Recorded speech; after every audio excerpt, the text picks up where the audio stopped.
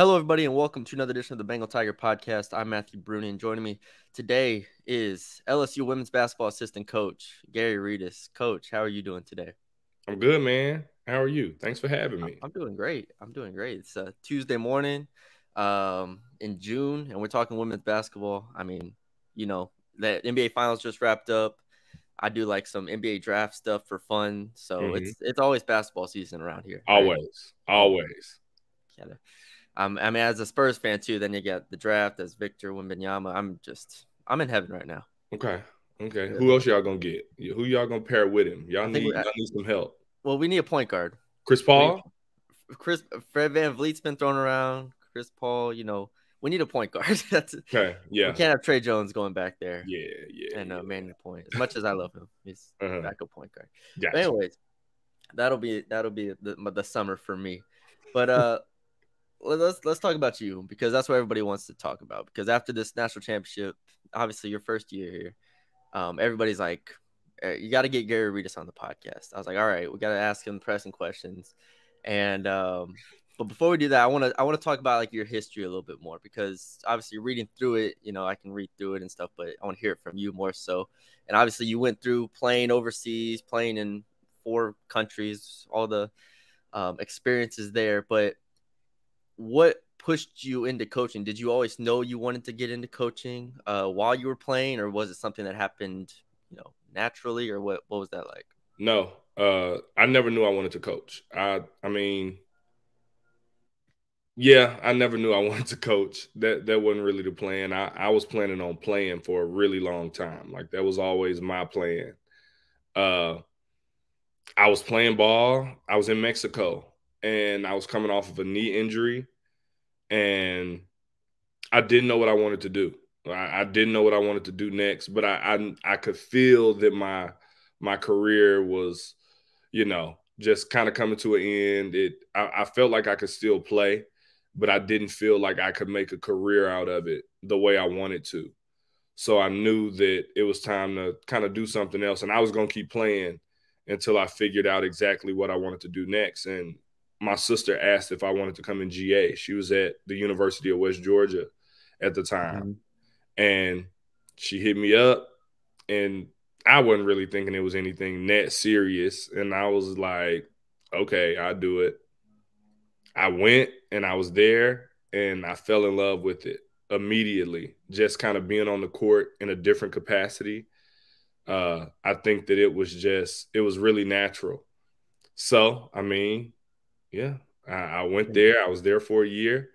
From there, I went to Delta State, which was kind of unexpected as well. Uh, Craig Roden was the was the head coach there. He he was my sister GA for him when she was mm-hmm. at the University of West Alabama. So he gave me a call. He wanted me to come there. I was there.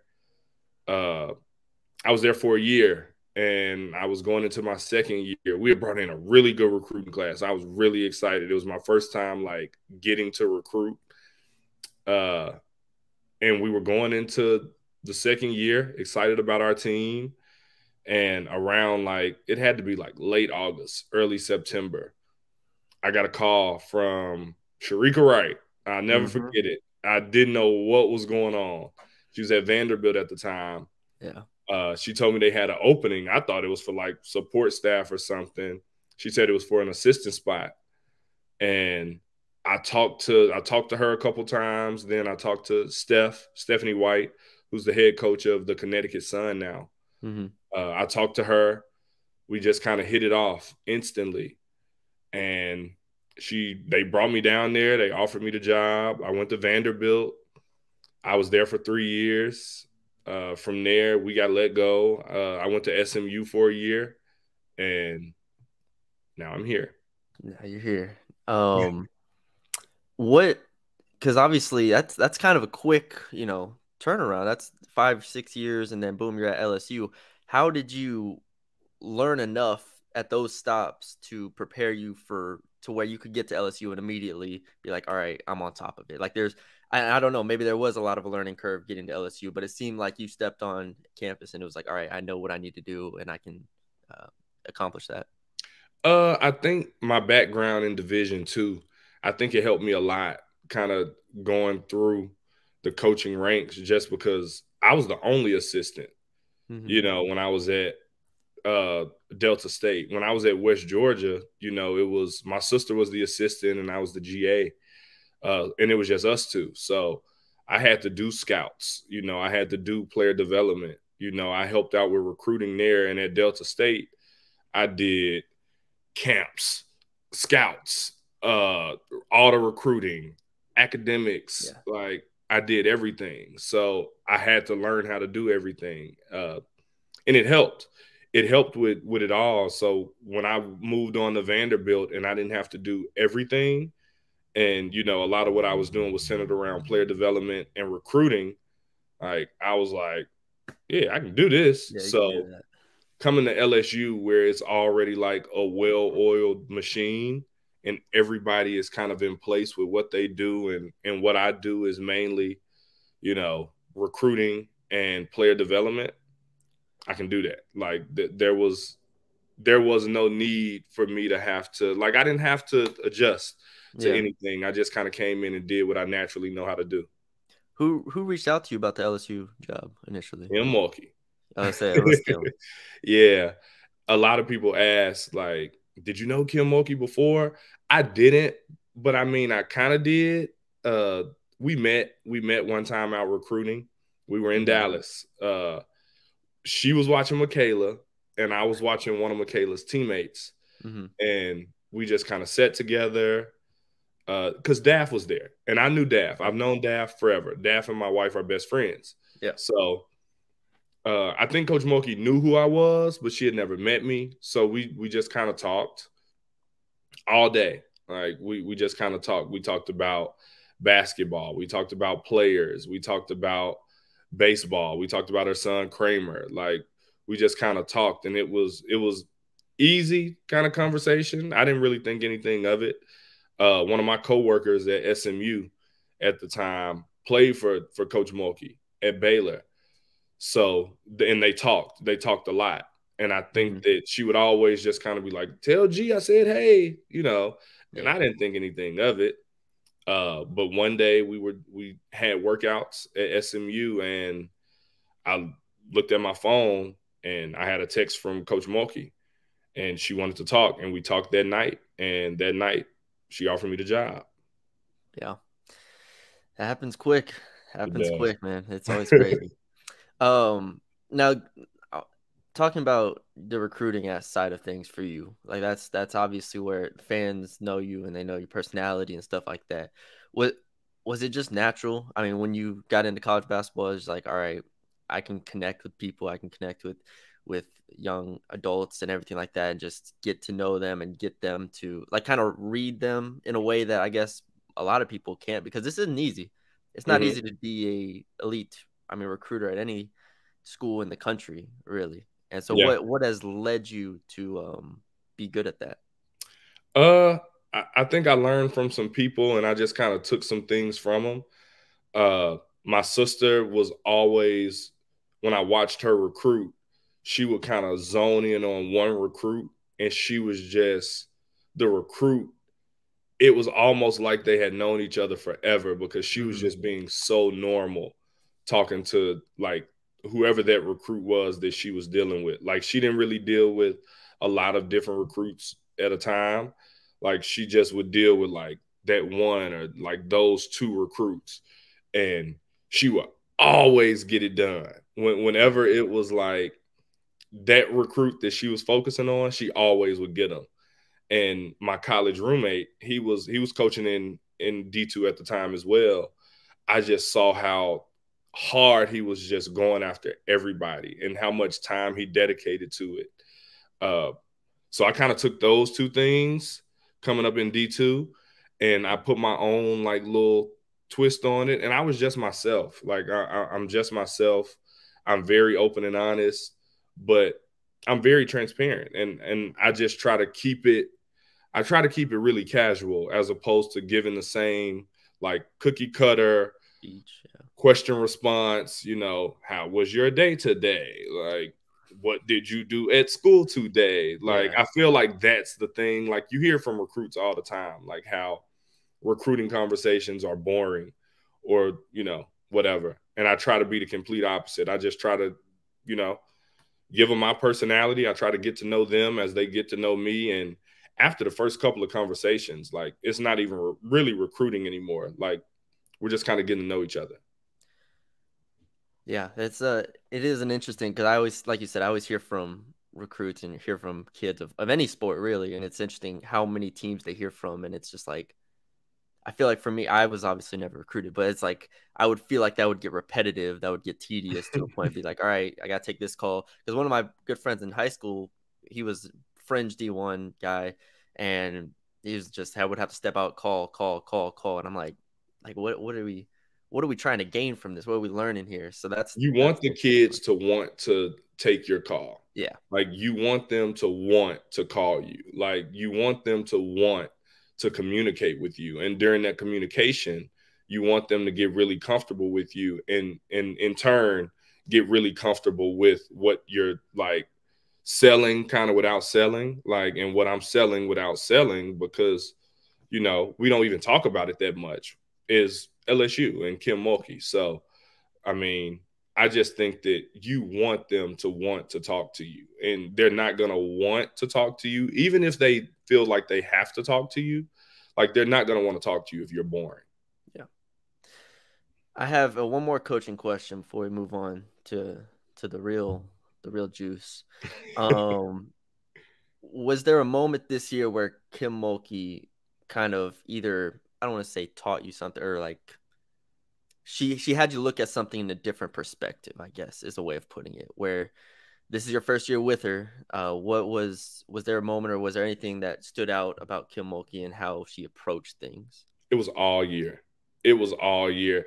I can i guess i could point out a couple like specific moments but it's just her attention to detail man. I, I think one time in particular I, I think it was always the first times mm-hmm. of things. Yeah everybody else on the staff had seen it, but I had never seen it. Like I've, I've never really been around her, and I, I think it was just how direct she is, uh, or how direct she was.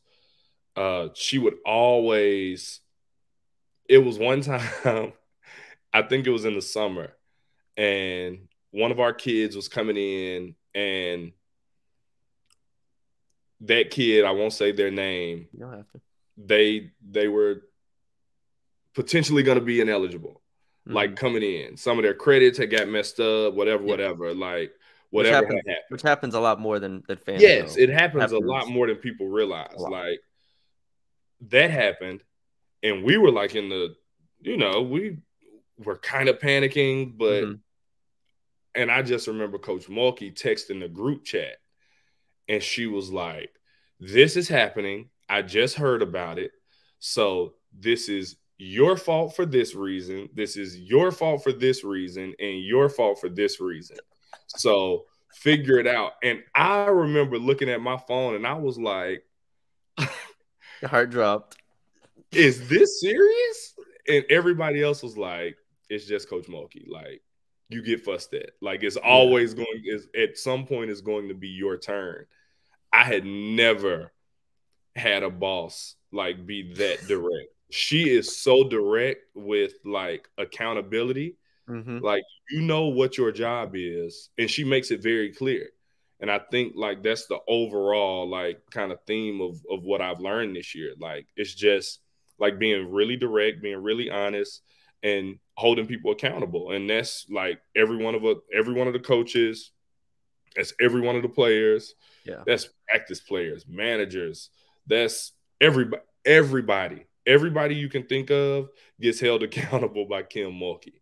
I can tell you another kind of story. We were playing uh, Michigan. I think it was before we played Michigan. Mm-hmm. Uh, and everybody was just kind of, we were nervous about the Michigan game uh, yeah. in the second round. And I'll never forget, we were sitting in the coach's locker room before the game. We were getting ready. And she sent in the group chat, the group chat gets spicy. Uh, and she sent a picture of her holding. She she's always she was in the the practice gym, and she sent us a picture of her holding the clock that's on the wall. mm-hmm. and she was like, "So nobody else noticed that you know the time was an hour behind. Nobody was gonna set the clock. I had to do that. We got." 11 coaches we we have all these managers but nobody noticed this i had to notice it i had to fix it all right i guess i can and it's just little stuff like that and we, yeah. dang, we got in trouble but it's the little things like no detail is too small for Kim Mulkey. And I think that's the main thing that I've learned over the years, over this year that I'll never forget and I'll always take with me, like as I continue my coaching journey.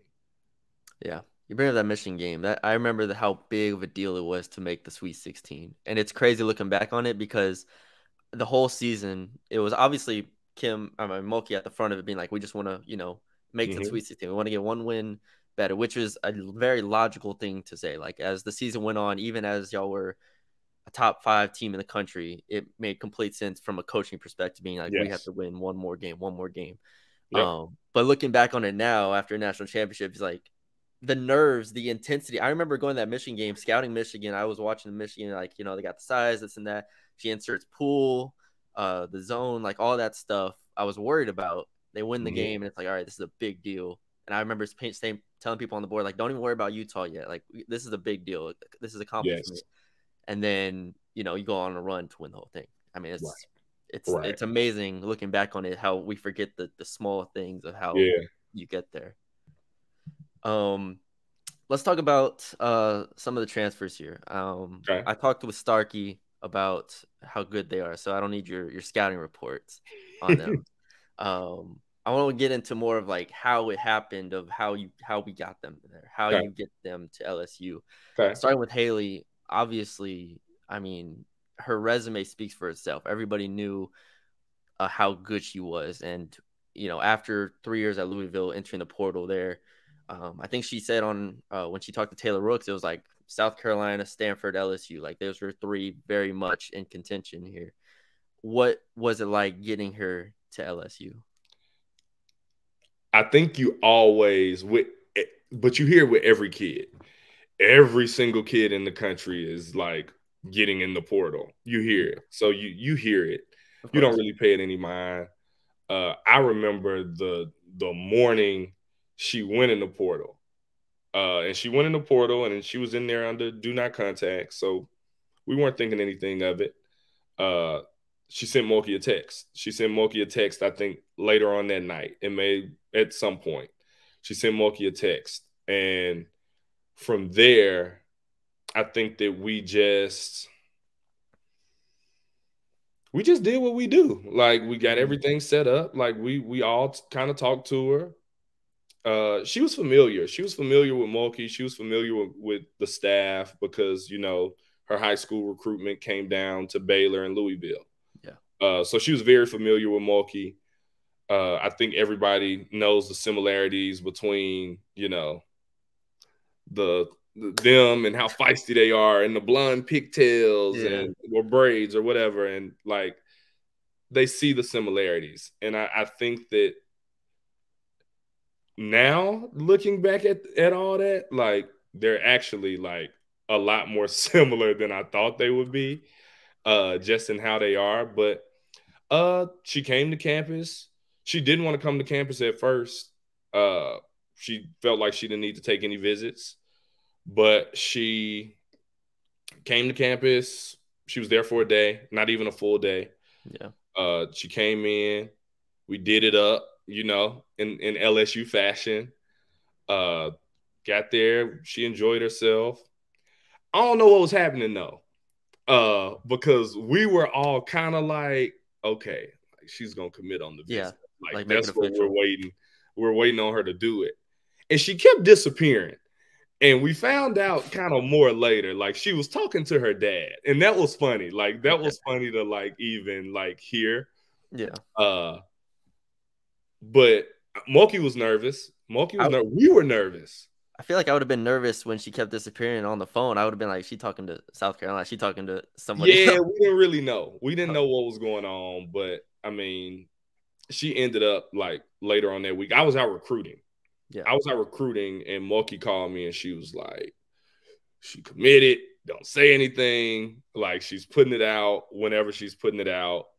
and then she put out like the super cryptic 11 posts, right? In Hailey fashion, uh, and broke the internet, right? So that was Hailey. Uh, with Aneesah, all we had heard was that Aneesah was going somewhere else, right? To yeah. the other school. Yeah, and I recruited Aneesah in high school. So I was familiar with her AAU coach. I was familiar with her mom. I was familiar with her. Uh, so I just kind of, you know, because I, I, we were told that it was a done deal. Mm-hmm. She knew where she was going. It was over, and yeah. I was like, "Let me see. Let me just yeah. see. Let's just just send a text. Send a text. Uh, so I, I reached out. I, I talked to to everybody I needed to talk to. And when I talked to her and we kind of got to talking, I felt like she was like really receptive of kind of what we had to offer and and kind of what we wanted to do and how we wanted to use her and how we could help her out and how she could help us out and everything like that. Uh, and then she went out to to USC and she came to visit us and we knew she had one more visit. Uh, and the visit was great. The the visit was great. I, I think that she hit it off with the girls. I think that she really like vibed with, with our coaching staff. I think that what we could offer was exactly what she was looking for. And she called me the the she got back on a Sunday, Monday, whatever day it was. I think it was a mm-hmm. Sunday. She called me and she was like, Hey, what's up? And I was like, What's up? and she was like, can we uh can we get on a Zoom? What are y'all doing at five o'clock? And I was like, nothing. What's up? he was like, Can we get on a Zoom call? I was like, Yeah, I send it out. And at that point, I got off the phone. I called Mulkey. I was like, What yeah. you doing? And she was like, Nothing. I was like, What are you doing at five o'clock? And she was like, What do I need to be doing at five o'clock? I was like, Aneesah just called. She wants to get on a Zoom. Usually you kind of know what that means. Yeah. It's one thing or another. Like, yeah. So when she said that, like gathered everybody up, you know, I went to Mulkey's house. Uh, she committed, and yeah. we got both of them. Was... Exactly what we were kind of trying to do. Like it, it just kind of happened. Yeah, I'm curious because uh, this was the case with both players. Were you surprised at all at how engaged the rest of the team was, like in their visits and how just in just overall trying like the um, excitement to try to get them here? Like, w- was that surprising at all? Nope, that's how they are. Mm-hmm. Like they they want they want like, one thing good. to tweet. It's one thing to tweet, but it's another thing to show. Obviously, be at the official visit, like be there, like be like the whole way. There. Nah, like I, I I wasn't surprised. Like I and they have stuff going on, and we get mm-hmm. that, and we try to work with them. And I remember going back and forth with Angel about, all right, we need you on this yeah. day yeah. to not be out of town. Not like be in we need you on this day to not be out of town. Uh, and they were great about it. They were great about it. They want really good players to come here. Uh, they want to know who we're trying to bring in, and they want to be a part of it. And so it was easy. Like it, it didn't surprise me at all. Like when when we have visits, like they come up to the office beforehand and they learn all about them and you know they know a lot of them from social media or from you know seeing them on TV. Yeah. Some of them play with them in All Star games, whatever. So they they understand who they are anyway, but they're really involved. We have a really good group of girls when it comes to like being excited when a visit happens. Yeah. So now that y'all have, I mean, the roster pretty much, uh, what about this team are you most excited to see? I'm excited to see two things. I'm excited to see how competitive the newcomers are in regards to the returners. I'm excited to see that. Uh, I think that, and it's funny to say because we won the national championship, but like I think that this team will be a little bit more competitive when it comes to like day to day practice. Mm-hmm. Uh, and I'm excited to see that. I'm excited to see it. I, I, think that we have a lot of kids who are going to have to fight for minutes this year. So I'm excited to see what that looks like, like and and who is going to kind of rise to the top of that. And I'm also excited to see, you know, how hungry we we are to to kind of do it again. Like, are we complacent? Are we cool with what happened last year, or do we really, really want to like go out there and, you know, do it again? Yeah, that's that's the one thing I've I was I would be like questioning that if Kim Mulkey wasn't the head coach. That's the thing. It's like yeah, because it is for a team obviously of Angel, Flau'jae. You know, it, you bring back a, a, a large core of it, and now it's like, all right, if we lose a game in January, you know, maybe that we're not supposed to lose, you know, then it becomes like, all right, now we're like you said before, it's like you're the hunted now, right. where now every single loss is magnified every single loss is not supposed to happen. And so now it's like, how do you bounce back from that? And that's an interesting, it's always an interesting standpoint. It's always an interesting approach to me. But I'm just like, Kim Mulkey as a head coach just saves me a lot of stress as far yeah. as like, I'm not worried Same. about it. Like, it's just how, like, she knows what to do at this point. If this yeah. was a, if this was a rookie coach, if this was a coach that's been in the league for, in the game for like six, seven years and hasn't won anything, I'd be like, it's a real concern. But mm-hmm. she's Kim Mulkey, Geno and Auriemma. It's like you don't worry about that. Yeah, they got so. it. They they know what to do. So I just I do I try to do my part, and then when it comes to that, I'm just kind of like, mm. Mulkey will figure it out. Exactly. Um, I do want to talk a little bit about just the team and I, in theory, how they're how it's kind of situated now because I think the flexibility y'all will have this year is really it's really fun. It's mm-hmm. really interesting. Last year, the past two years LSU, it's been very much you know cookie cutter in a way of being like, yeah. we got LaDazhia at the five, Reese four. We know we kind of know what we're doing here. This year, it's Angel Reese, obviously, um, Aneesah Morrow, Hailey Van Lith. Like you have players that can play multiple positions now. Mm-hmm. Is that an interesting? Is that a story? An interesting thing for you going into the season? Be like, all right, because we can, this is kind of a ball of clay in a sense for a coaching staff. We can move them however we want, how, however it fits. Mm-hmm. Yeah, I, I, think that's exciting. I think that uh, we have an idea of kind of what we want to do, but I think that there are a couple pieces that that we feel like we can kind of play around with. I think because Angel is Angel and she's mm-hmm. so good, I think that we kind of know like, all right, you can play here and we can work with the pieces around you. Like I, I think that we kind of know what we want to do with Hailey. Uh, but things may work out different in a in another way, right? But I think we know what we want to do with with most of them. But you know, Aneesah can play the the three and the four. Yeah. You know, I think Angel can play the three, four, or five. She, yeah. One, she can really play whatever you want to put her at, honestly.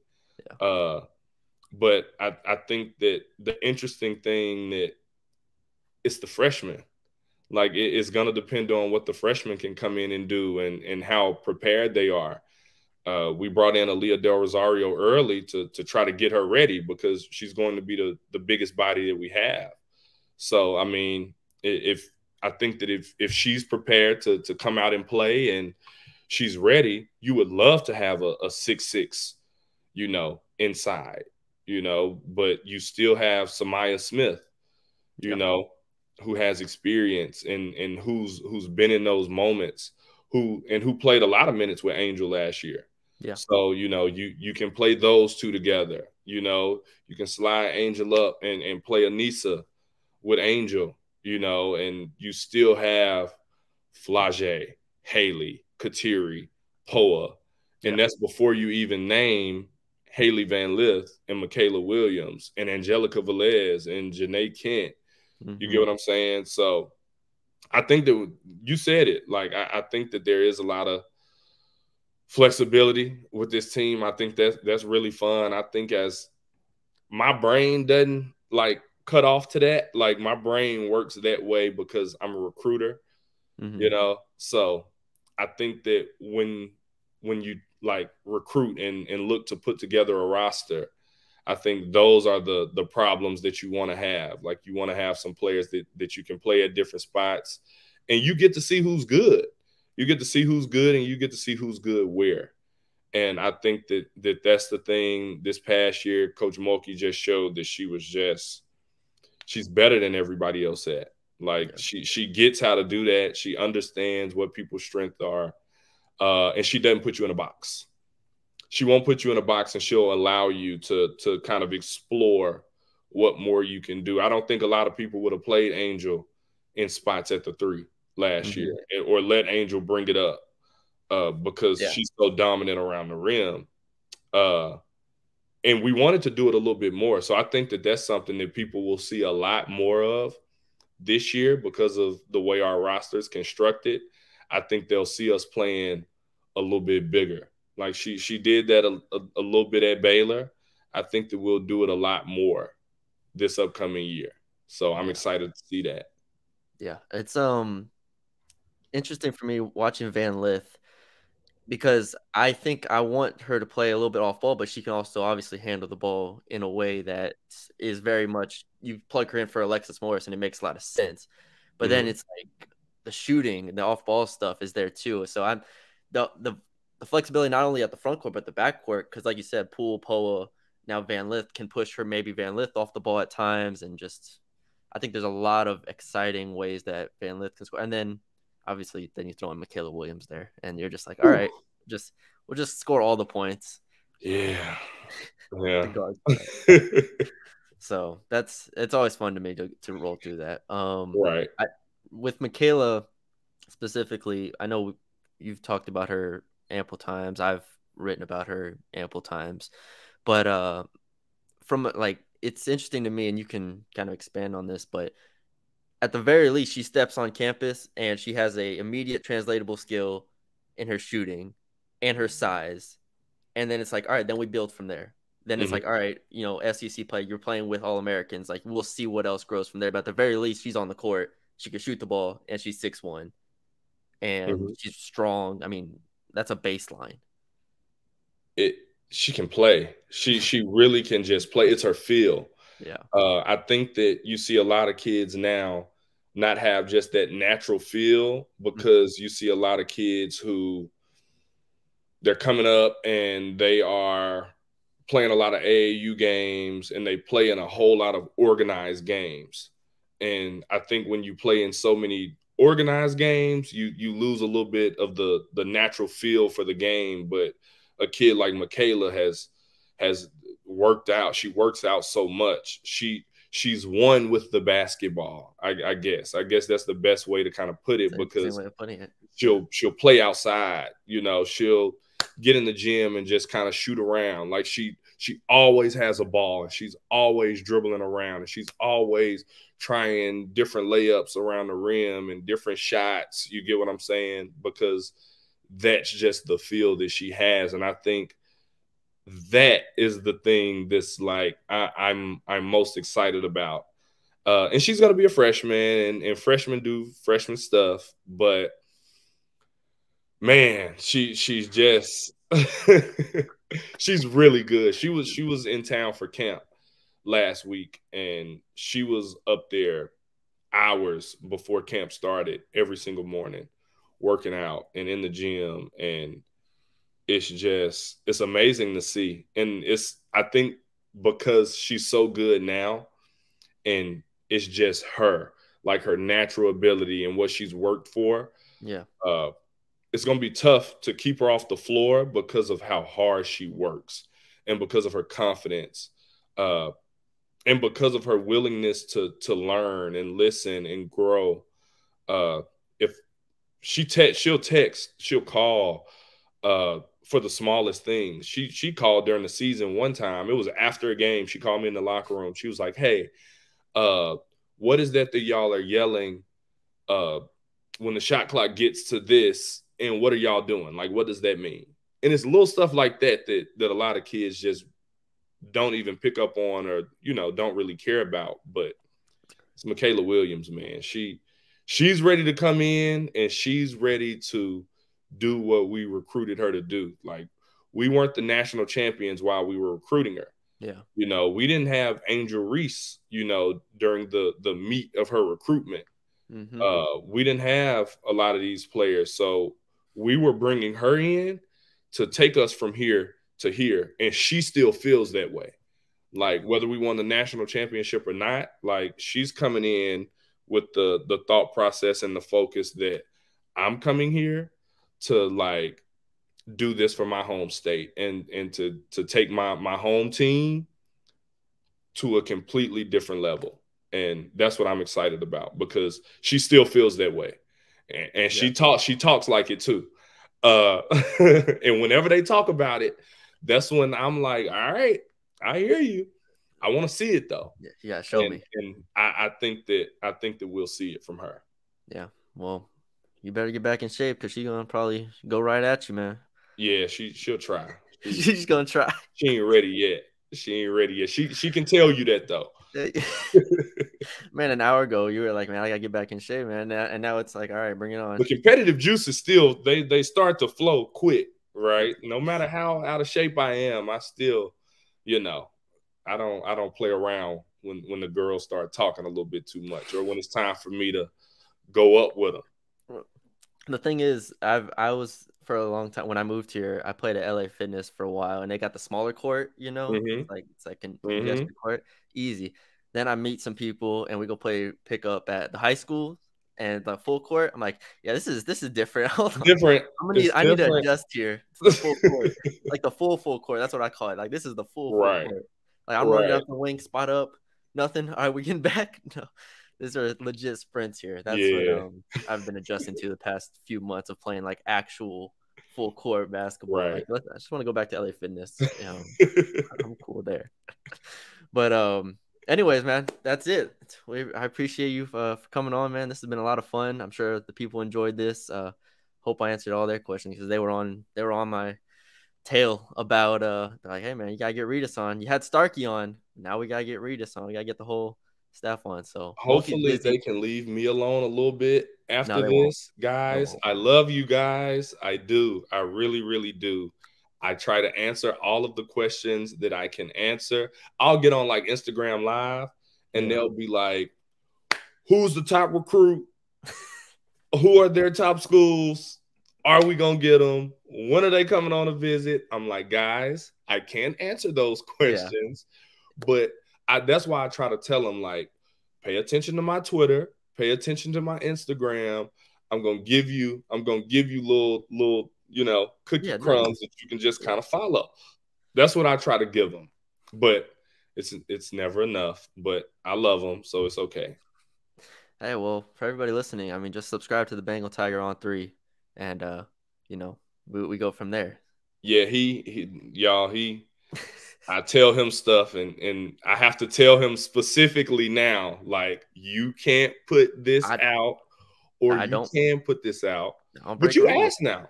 I, I don't break. I, I so, it was one good, time. One time. it was one. We, we don't got. We don't got. Yeah, yeah, yeah. We, we got to talk about that. We good. It was a one. oh man! All right, I'll get out of here before we we we keep going. Um, but appreciate you coming on, man. Uh, for those listening on the audio side, leave a five star rating review. If you're on the YouTube side, subscribe. Um, leave a like, comment, share, all that good stuff. Uh, we'll be back with another episode soon. Uh, we will talk to y'all later.